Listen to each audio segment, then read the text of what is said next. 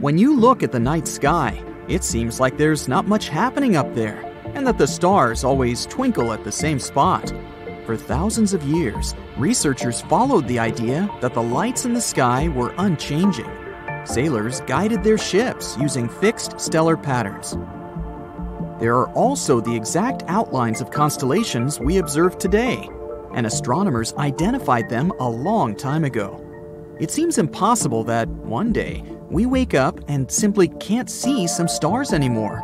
Or does it? A team of researchers at Vanishing and Appearing Sources during a Century of Observations, or VASCO, studied the sky to check how things with the stars are going. The astronomers got the data from Gaia, the European Space Agency, and compared the information from 70 years ago to that from today to see how the sky has changed. To test it right, they had to use both modern and old telescopes. And something really interesting happened up there. Over 700 stars from the old maps were missing. If one star disappears, multiple theories could work. But it's harder when hundreds of them vanished at the same time. Could it be that the data was wrong?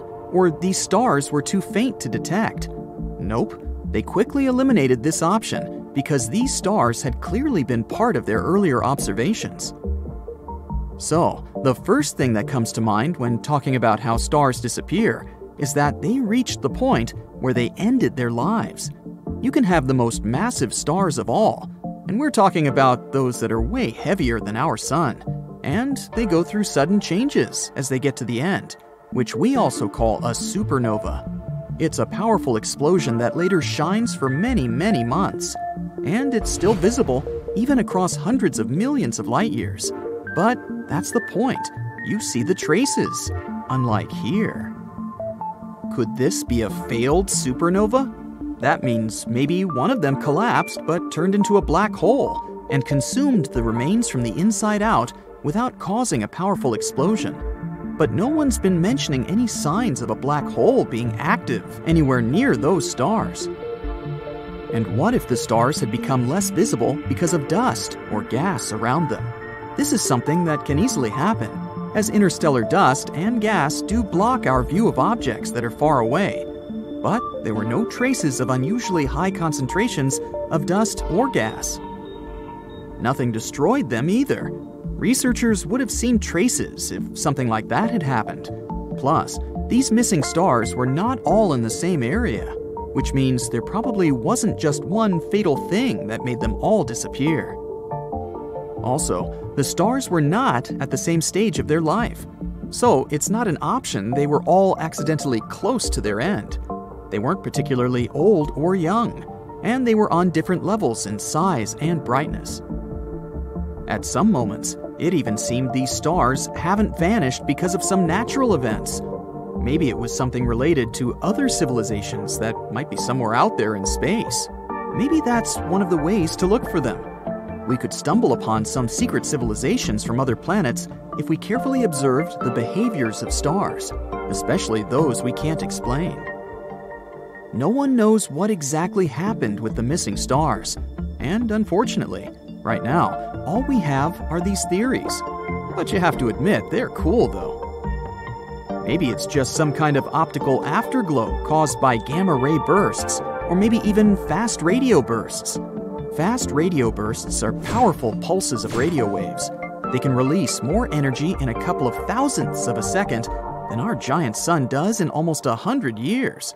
We don't really understand how these energy eruptions work yet, so we don't know what they can do. But still, hundreds of stars at approximately the same time. There are between 100 to 400 billion stars in our galaxy, so we'll probably see some of them disappear too. Hopefully, we'll understand better why such things can happen. Of course, scientists are not sure about this number because we can't see all of the Milky Way stars from our home planet. Some are too faint, some are too far, or even hidden by dust or gas. But they assume these numbers based on the size, shape, and likely mass of the Milky Way.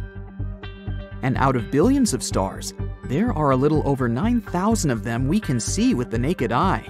If you want to see more, you need a good telescope that will reveal those fainter ones your eyes are unable to discern. Many of the stars we see in the night sky are probably not alive anymore. Stars are giant balls of gas that produce light and heat through nuclear fusion in their cores. However, stars also have a limited lifespan, and eventually they run out of fuel and stop shining. When a star passes, it can either become a white dwarf, neutron star, or black hole, depending on its size. Scientists have discovered that some of the stars we see in the night sky are too old to still be shining. This means that they may have faded, but we are still seeing their light because it takes so long to reach us.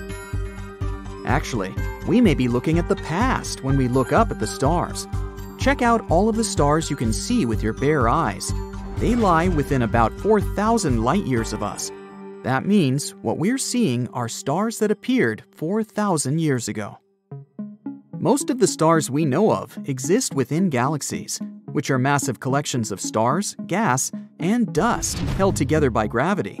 Still, there are large areas of empty space between galaxies too. And the question is could they have any stars? It seems that these areas of space are not completely empty. There is still some gas and dust, as well as dark matter, which is a type of matter that we cannot see but we know exists because of its gravitational effects on other objects. Scientists have even discovered a few isolated stars in these areas of space. These stars didn't form there, they ended up there by accident, which means they have probably been ejected from their galaxies by gravitational forces or collisions with other objects.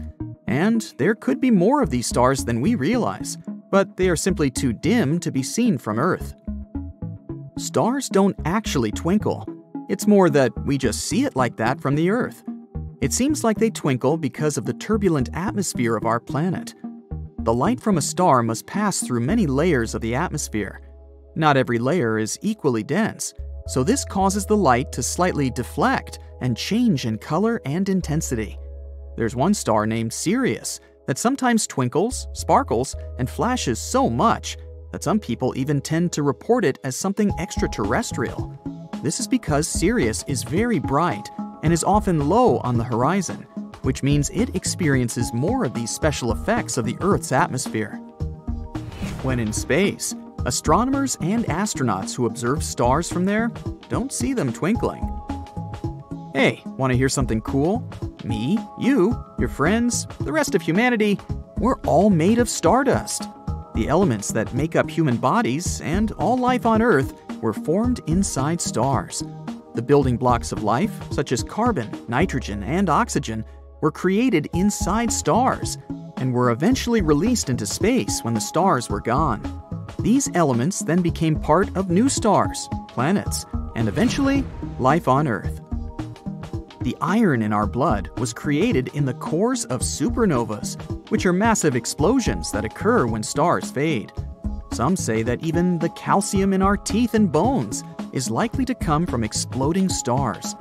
The oxygen in our lungs was created in the cores of massive stars before being released into space through supernovas. That's it for today. So hey, if you pacified your curiosity, then give the video a like and share it with your friends. Or if you want more, just click on these videos and stay on the bright side.